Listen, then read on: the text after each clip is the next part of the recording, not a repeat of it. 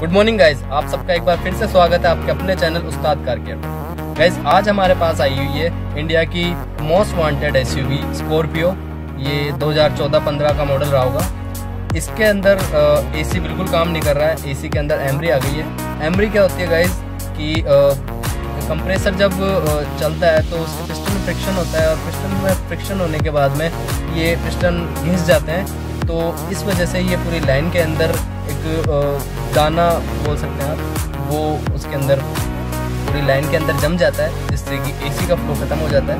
तो इसके चलते पूरी एसी के जितने भी पार्टिकल्स हैं, वो चेंज ही करने पड़ते हैं, क्योंकि बहुत बारीक लाइंस होती हैं वो उसके अंदर जम जाता है। तो एसी का फ्लो जो है बिल्कुल ख़त्म हो जाता है। इसके अंदर चेंज करने होते हैं अपन को कंप्रेसर कंडेंसर कूलिंग कोयल और पूरी लाइनिंग जो है, वो फ्लश करवानी पड़ती है।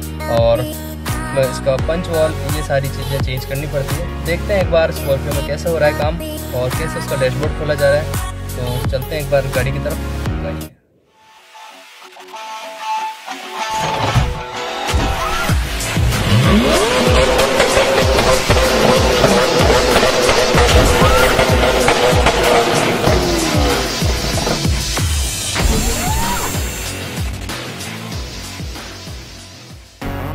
तो गाइज़ ये है स्कॉर्पियो जिसकी कि हम कूलिंग कोयल निकाल कर उसको सर्विस कर रहे हैं। और ओवरऑल पूरे एसी का काम किया था इसके अंदर। इसका कंडेंसर नया डाल दिया है कंप्रेसर नया डाला है, पूरी लाइन फ्लश की है।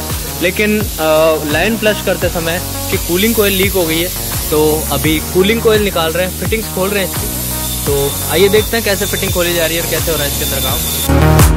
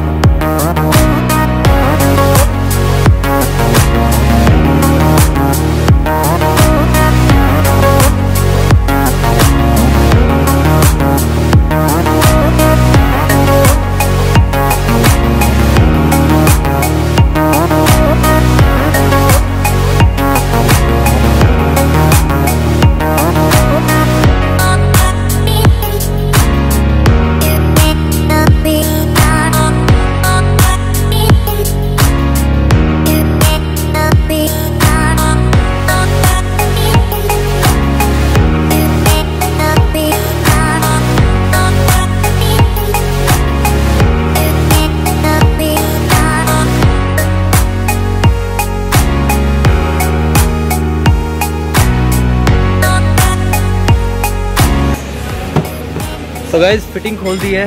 ये जो कंसोल है फ्रंट में, जिसके अंदर ए सी विंग्स अपना स्टीरियो और एसी के कंट्रोल्स लगे होते हैं, वो खोल दिया है।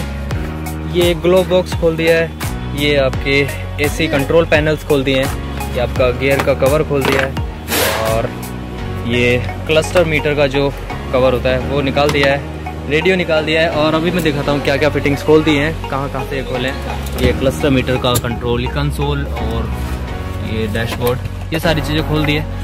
और अभी डैशबोर्ड को कैसे निकालते हैं वो मैं आपको बताता हूँ। तो वैसे जैसा कि आप देख सकते हैं हाफ़ इसका जो है डैशबोर्ड खोल दिया है। ये सारी वायरिंग्स और जो सारी चीज़ें हैं, वो सारी दिखने लगती हैं। अभी नीचे का भी ये हाफ़ जो बचा हुआ है, ये खोलेंगे। उसके बाद में कूलिंग कोयल बाहर निकालेंगे और कूलिंग कोयल को रिप्लेस करेंगे। तो देखते हैं कैसे हो रहा है काम।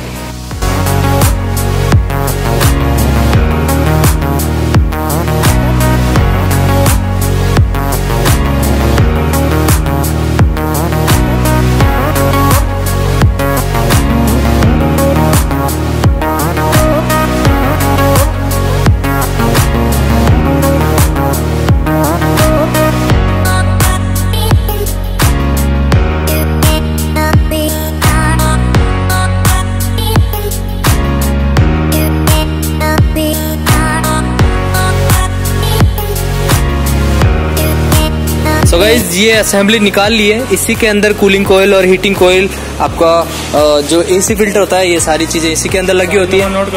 तो गाइज़ ये जो नोजल देख रहे हैं ये है आपके कूलिंग कोयल के नोजल्स और ये जो है सॉरी ये है कूलिंग कोयल के और ये है हीटिंग कोयल के नोजल्स ये आपका पंचवाल इसके अंदर लगा हुआ है। अभी कूलिंग कोयल निकाल रहे हैं वो सारी चीज़ मैं दिखाता हूँ आपको। और कैसी होती है कूलिंग कोयल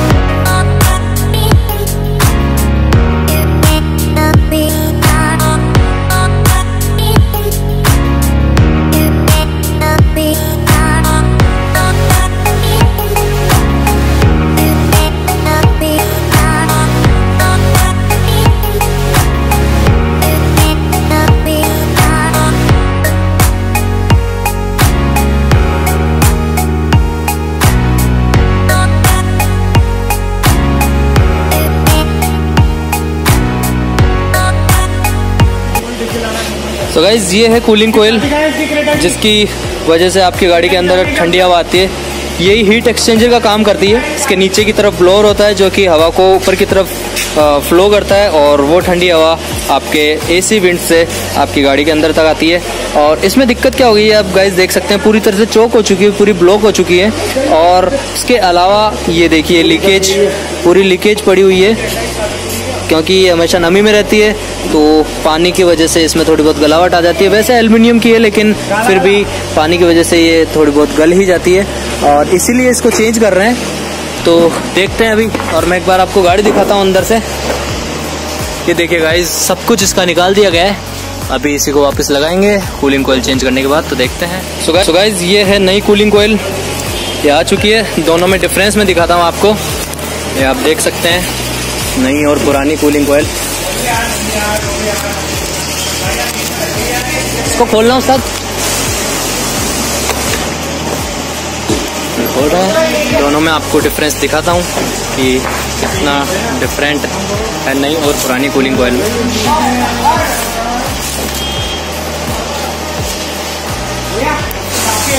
ये देखिए गाइस ये है डिफरेंस नई और पुरानी कोयलिंग कोयल में। तो अभी इसी को लगाएँगे। देखते हैं किस तरह से लगाइज अभी कूलिंग कोयल को फिक्स किया जा रहा है। इसके बाद में इसको डैशबोर्ड में फिट कर दिया जाएगा। तो ये देखते हैं कैसे कर रहे हैं